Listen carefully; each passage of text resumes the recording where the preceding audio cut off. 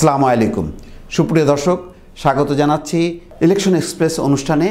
সাথে আছে আমি মোস্তফা ফিরোজ। আপনারা জানেন যে আগামী যে ষোলোই জানুয়ারি নারায়ণগঞ্জ সিটি কর্পোরেশন নির্বাচনকে ঘিরেই আমাদের এই আয়োজন। আমাদের এই আয়োজনের নাম হচ্ছে ইলেকশন এক্সপ্রেস। আজ এই অনুষ্ঠানে যুক্ত হবেন বাংলাদেশ স্থপতি ইনস্টিটিউটের সভাপতি মোবাশ্বের হোসেন। আপনার কাছে প্রথমেই জানতে চাওয়া যে এবারের নারায়ণগঞ্জ সিটি কর্পোরেশন নির্বাচনটা কেন গুরুত্বপূর্ণ সবার কাছে? ধন্যবাদ।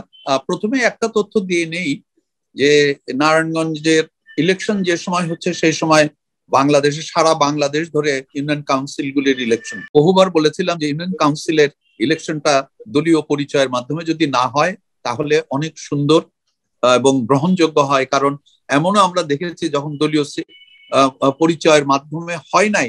তখন একই বাড়িতে থেকে দেখা গেছে বাবা, ছেলে দুইজনই দাঁড়িয়েছে একই পোস্টের জন্য। তারপরে আবার কিন্তু যে কোনো একজন জিতেছে, তারা বাড়িতে এসে একসাথে থেকেছে। তো যখনই দলীয় স্লোগানটা এই গ্রামের ইলেকশন গুলির ভিতরে আসলো, তখন রাজনৈতিক পরিচিতিটা গ্রামের মানুষের পরিচয়ের চেয়ে বড় হয়ে গেল।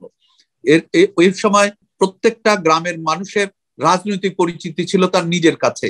কিন্তু এই ইউনিয়ন কাউন্সিলে যখন রাজনৈতিক পরিচিতি ইনভলভ করা হলো তখন এটা একেবারে দলীয় ইলেকশনের মতন হওয়ার কারণে প্রচুর খুন খারাপি হয়েছে যেটা গ্রামগুলিকে দ্বিখণ্ডিত আমি মনে করি দ্বিখণ্ডিত করে ফেলেছে।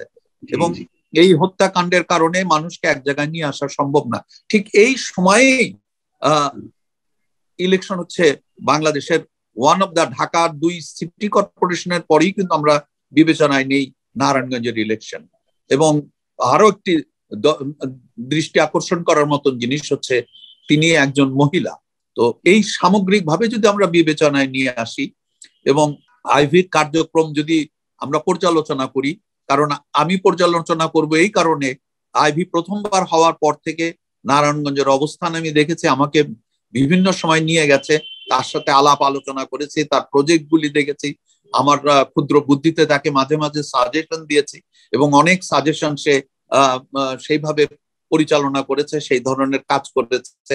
এইগুলি যদি আমি বিবেচনা করি, সম্প্রতি মানে গত বছর তার এলাকা ভিজিট করার পরে আমার যে চিন্তা এবং আমি তার সম্পর্কে যেটুক মনে করি, সরকার যখন উন্নয়নের কথা বলছে, সেই সময় কিন্তু তার ওখানেও প্রচুর উন্নয়ন হয়েছে। এবং উন্নয়নগুলির দৃষ্টি আকর্ষণ করার দিকটি হচ্ছে সাধারণ মানুষের জন্যও সে প্রচুর কাজ করেছে। প্রচুর প্রতীত খাল, বিল সুন্দর জায়গাগুলিকে সাধারণ মানুষের, নারায়ণগঞ্জের সাধারণ মানুষের দৈনন্দিন ব্যবহারের জায়গায় পরিণত করেছে। এইসব চিন্তা করি, তখন আমি তো ধরে নিয়েছিলাম যে তাকে আনকন্টেস্টি বোধহয় উইন করার একটা সম্ভাবনা আছে। কিন্তু এখন যখন নাকি নির্বাচন, একটি অবাধ নিরপেক্ষ নির্বাচনের প্রশ্ন সামনে, এবং সেই সময় যখন নাকি তৈমুর আলম খন্দকার মতন প্রার্থী, যারও একটি চমৎকার একটি রাজনৈতিক অতীত আছে বা সজ্জন হিসাবে যিনি নারায়ণগঞ্জে পরিচিত, তিনিও তো কব না। তখন প্রতিদ্বন্দ্বিতার মাত্রাটা কোন দিকে গড়াবে? আমি ওই- ওইটাকে ওই কথাটাতে আসছি। আমি চিন্তা করেছিলাম, এটা একদম সম্পূর্ণ আমার ব্যক্তিগত চিন্তা ছিল, হয়তো আনকনটেস্টি সে হয়ে যেতে পারে তার কার্যক্রমের কারণে। তৈমুরের সাথেও আমার এর আগে বহুবার টেলিভিশনে কথা হয়েছে তোমার ওইখানেও কথা হয়েছে। তো তৈমুর মানুষ হিসাবে অসম্ভব রকম পরিচিত একটি মানুষ এবং সে স্বতন্ত্র হয়ে দাঁড়িয়েছে।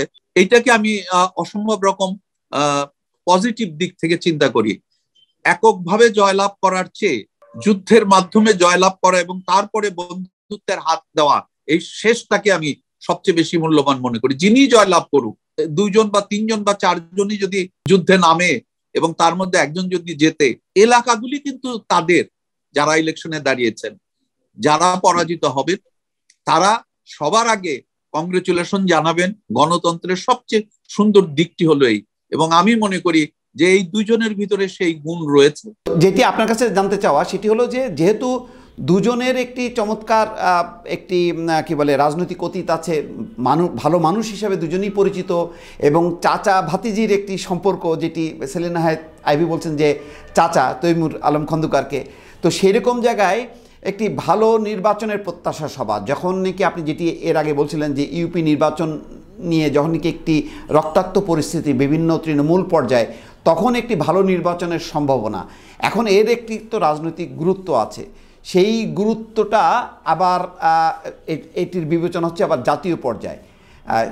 অনেকেই আশঙ্কা করছে যে আসলে কি একটি অবাধ, ভালো, নিরপেক্ষ নির্বাচন হবে কি না প্রার্থী ভালো দুজনের মধ্যে যেই জিতুক সেই হয়তো প্রত্যাশা পূরণ করবে, কিন্তু গুরুত্বপূর্ণ বিষয় হচ্ছে নির্বাচনটা অবাধ এবং নিরপেক্ষ হবে কি না আপনার কি মনে হয়?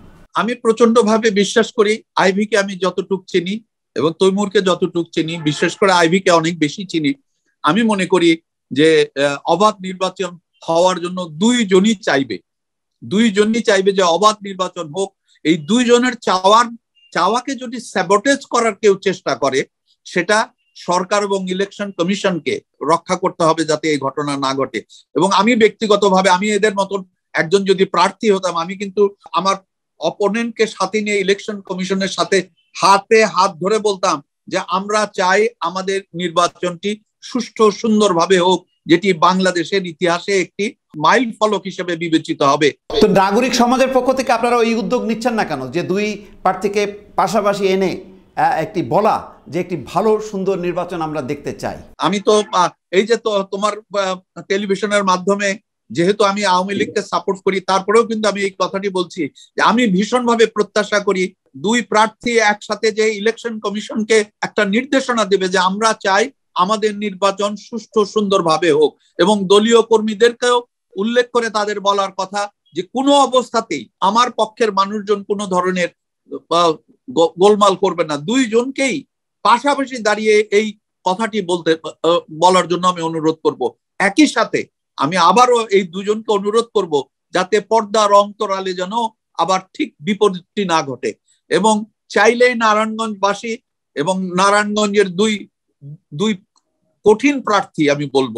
দুই কঠিন প্রার্থী বাংলাদেশের ইতিহাসে একটি যুগান্তকারী ঘটনা ঘটিয়ে দিতে পারেন সুষ্ঠু নির্বাচনের মাধ্যমে। দুই পক্ষ যিনি জিতুন, জিতবেন, তিনিও বলবেন একটি সুষ্ঠু নির্বাচনের মাধ্যমে আমি জিতে হবেন।